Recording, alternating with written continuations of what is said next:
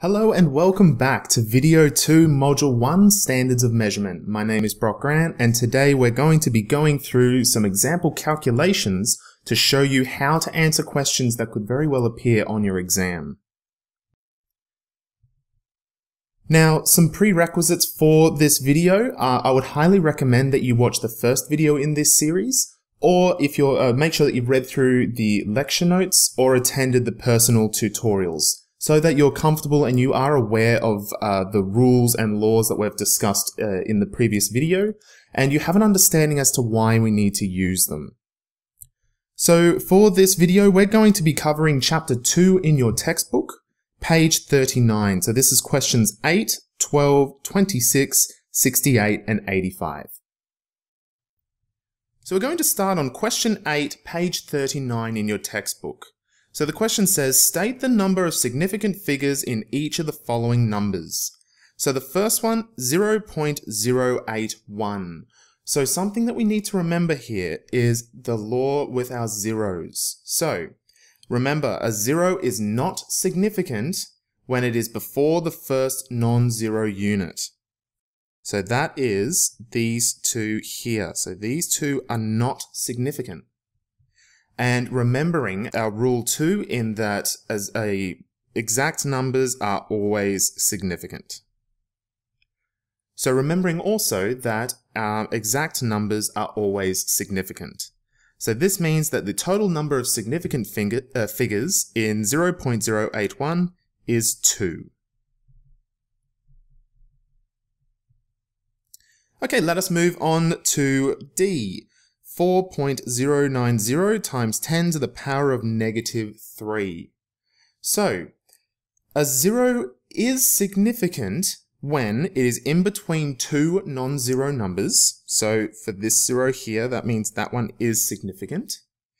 And if it's at the end of a number after the decimal point. So that means that this zero is also significant. Now, because we have two exact numbers here, uh, sorry, um, uh, non-zero digits, that means these two are significant. Now, do not fall into the trap of looking at this. This is a no-no. Because remember, a zero is not significant when it is determining the place of a decimal point.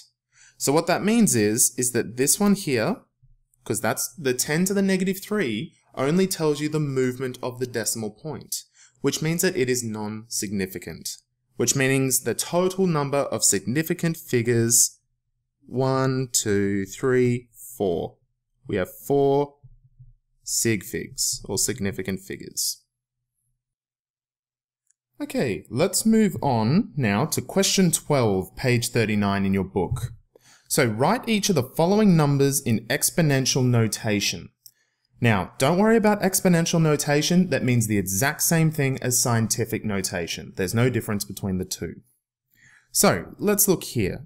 Uh, part A, so 0.0456.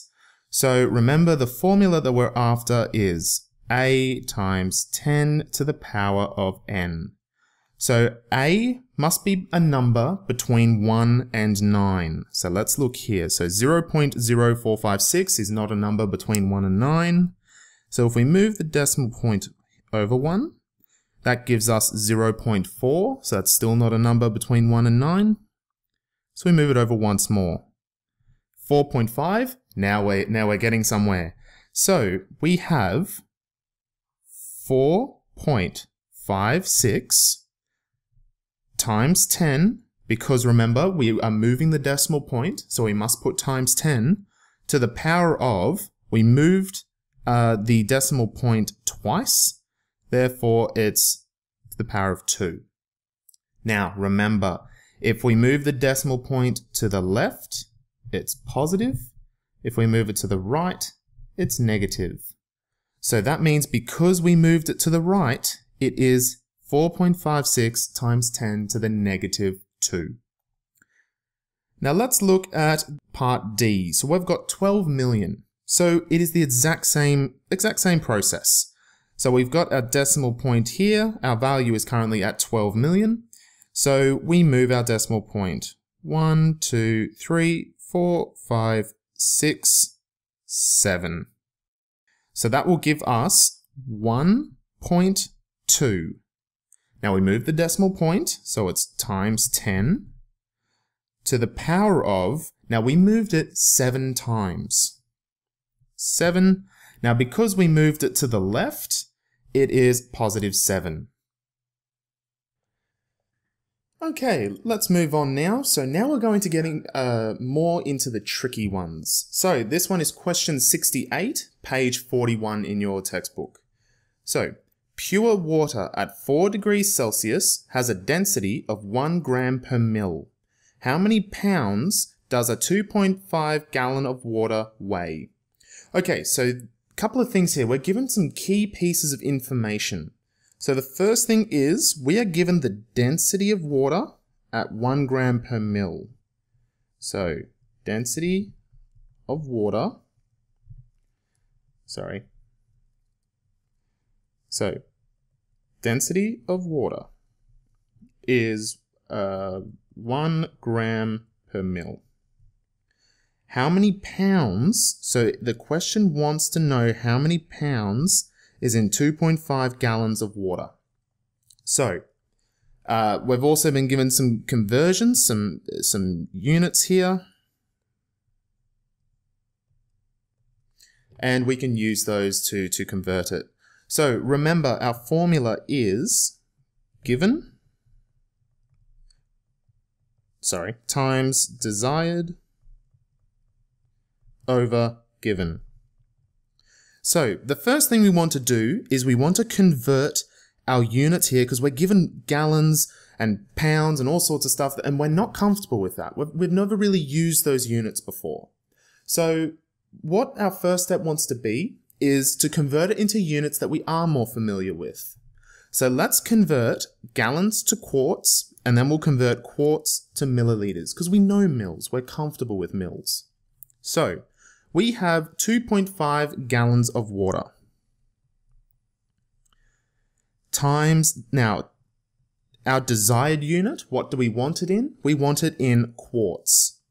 So we know that there is one, uh, sorry, there are four quarts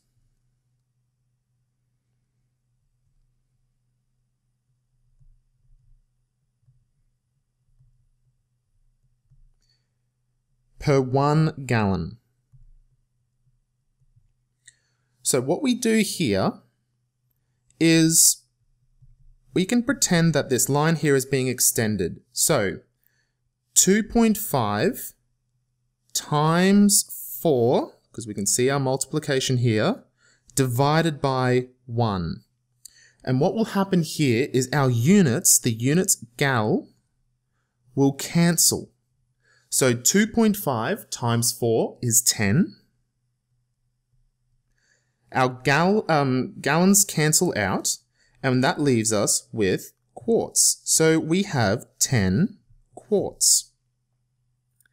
So now that we've done this step, this step is fine. We're now going to convert our quarts to milliliters. So again, it's the exact same process. So given we have 10 quarts and we want to convert that into milliliters times our desired value is mil, so we know that there are 946 milliliters. Our given value is one quart because there's 946 mils in one quart. So same deal here. So 10 times 946. So that will give us 9,460.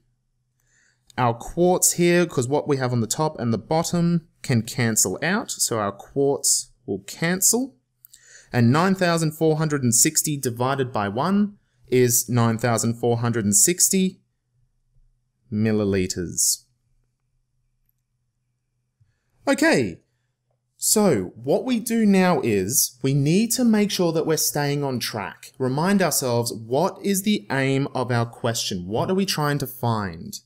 Now, the question is asking for how many pounds. That's what we want. So we have it in mils. So it, it seems as though, like, well, hang on, why, why did we convert it to mils? Why, what's the point? Here's what led me to that decision.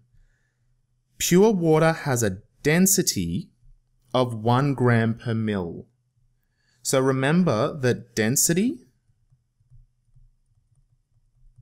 is equal to mass over volume. And remembering from the previous video, you should have memorized that one mil of water is one gram. So because of the density of water being one, we know that the 900, uh, sorry, 9,460 milliliters of water will equal 9,460 grams. Now, just a quick side note, because again, this is a common trap that students fall in. The uh, density of water is 1. It is one of the few, if not only, substances that has a density of 1. Okay, please do not assume that everything, every liquid has a density of 1, because it doesn't. And that's where a lot of people come unstuck. So, we have 9,460 grams. Now we're in units that we can work with because we know that one pound is equal to 453 grams. So what do we do? You guessed it. We convert grams to pounds. So what units are we given? We are given grams. So 9,460 grams times so I'll just section this off here. Times the desired. So what do we want it in? We want it in pounds. So times one pound over the given. So in one pound, there is 453.6 grams. So we go 453.6 grams. Now, this is where it changes a little bit from, uh, from the previous ones that we've done. So 9,460 times 1 is 9,460. However, it is divided by 453.6. So 9,460 divided by 453.6 is equal to 20.8. Now, we look at our units now because we've got grams on the top and we've got grams on the bottom. So these two cancel and that gives us 20.8 pounds. Okay, let's move on now to question 85. Now, a lot of people will tend to panic when they see a question like this. They'll basically open up their exam paper and go, whoa, we have a lot of information here. What, what am I supposed to do? And that's okay. I'll, I'll break it down for you and I'll show you how to uh, extract the key information that you will need. So, your boss found a piece of metal in the lab and wants you to determine what the metal is. So the only thing that's important there is we want to know what the metal is. All of this, your boss, blah, blah, blah, giving you a story is junk. Okay, it's a, it's a distractor. It's something to uh, pull your attention away from what the question is asking. And I'm sorry to say, guys, but you're going to see those a lot in your exams. Make sure you constantly remind yourself, what is the question asking me? What am, uh, what am I supposed to be doing? She is pretty sure that the metal is either lead, aluminium, or silver. Okay, so we have a choice of three here. The lab bench has a balance and a 100 milliliter graduated cylinder with 50 milliliters of water in it. So, we have a cylinder here with 50 mils of water. You decide to weigh the metal and find that it has a mass of 20.25 grams. Okay, that is important. That's very important. So, the mass is 20.25 grams. After dropping the piece of metal into the graduated cylinder containing water, you observe that the volume increased to 57.5 mil. Okay, that's interesting. So, after dropping our little piece of metal, we notice that the volume increased to 57.5 mils. Identify the metal. Now, in your textbook, you weren't provided the densities. However, in an exam situation, you would be. There is no, uh, it is not necessary for you to have memorized the density values. Okay, so the first thing is, where do we start? What, what do we do? So we notice here that we're given density, density, density. So that should start to ring little alarm bells saying, okay, we need to look at density. So density is equal to mass over volume. Also remembering too, the density of water is 1. So, so where do we start here? What do we do? So the first thing is we need to remind ourselves, okay, what is the question asking? So the question is asking to identify if the metal is lead, aluminium, or silver. Now the only way that we can do that is by getting the density. So, density of our unknown is equal to mass. So we've given the mass, so we know the mass is 20.25. But how do we know the volume? The trick was when we dropped it into water. Now, you will cover Archimedes' principle in uh, the physics section later on in the semester, but when we submerged that block of, um, of metal, so when it went completely underwater, what it did was it pushed the water up that was equal to the volume of that metal. So the total volume that that metal had was the amount that the water was pushed up. So we knew that the volume of water that was moved up or displaced was 7.5 milliliters. So the density of our unknown metal is equal to 20.25 grams divided by 7.5 milliliters. So we punch that into our calculator and we are given the density is equal to 2.7 grams per mil.